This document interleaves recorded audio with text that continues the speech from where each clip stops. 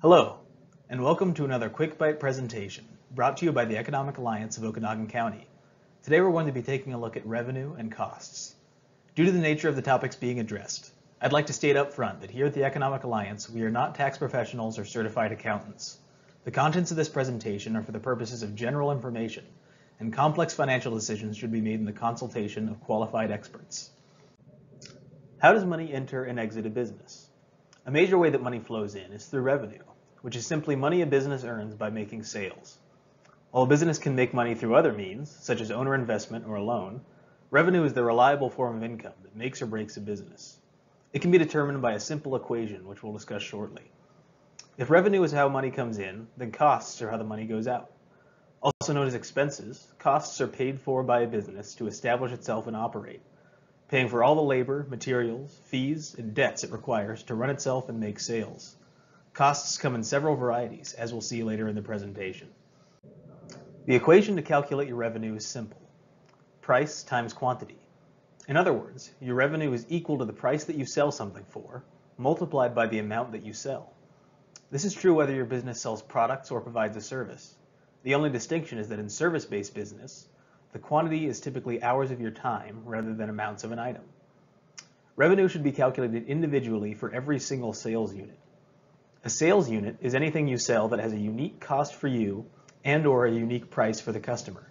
For example, a restaurant's sales units will include every item on the menu, each soup, salad, entree, dessert, and beverage. Each of these sales units will have its own revenue associated with it that can all be added up to find the total revenue for the business as a whole. Calculating your revenue, both individually by sales unit and collectively for the whole business, is important to ensure that you can cover your costs. As I already mentioned, costs come in a few varieties.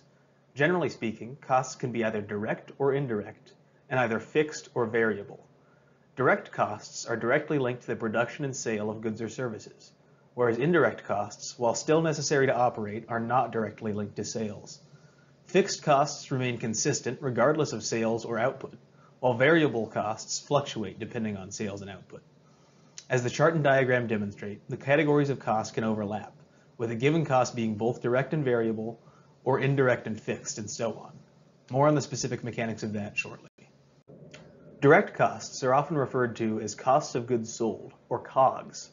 COGS are the cost of making a single sale, meaning the materials that go into making a product or labor that can be directly tied to its production. Think of the ingredients in a recipe. Those are COGS for a restaurant. We discussed sales units earlier, and COGS will be different for each one. To use the restaurant example again, each recipe will require different ingredients and therefore carry different COGS. COGS in direct sales tend to be variable, meaning they rise alongside sales rather than remaining flat and fixed regardless of them. There also tends to be a discrepancy between ideal and actual COGS. It's almost always higher than it should be on paper due to wastage and human error. For this reason, it's important to budget a little extra for each COGS calculation when you're crunching numbers, and to regularly compare ideals versus actuals to ensure the difference isn't major or growing. Indirect costs are called overhead.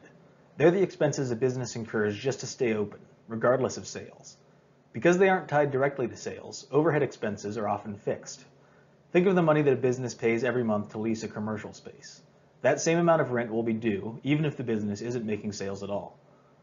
Since overhead includes large sums for things like rent and utilities, as well as most labor costs for employees, it tends to be the biggest set of expenses for a business. Today's Quick Byte will be the first of a three-part series. Tune in next month where we'll use our knowledge of costs and revenue to examine gross and net profit.